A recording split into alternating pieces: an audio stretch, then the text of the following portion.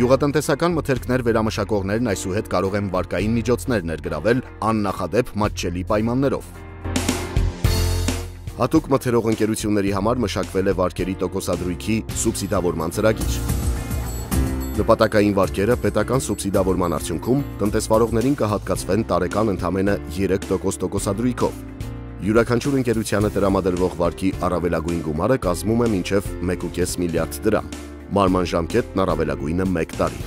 Իդեպ սուբսիդավորման ենթակա վարկերը պետք է նպատակաուղղվեն բացառապես մթերվող գյուղատնտեսական հումքի, պտուղ բանջարեղենի, խաղողի եւ կաթի կանխավճարի կամ արժեքի վճարմանը։ Նախարարությունը խրախուսում է պայմանագրային հարաբերությունները, ուստի վարկից կարող են օգտվել միայն այն ընկերությունները, որոնք ֆերմերների հետ աշխատում են բացառապես պայմանագրային հիմունքներով։ Ընդ որում, վարկը տրամադրվում է վերամշակողին, իսկ գումարը փոխանցվում է անմիջապես գյուղացիական տնտեսության հաշվեհամարին։ Մանրամասներին կարող եք ծանոթանալ 3w.minagro.am կայքեջում։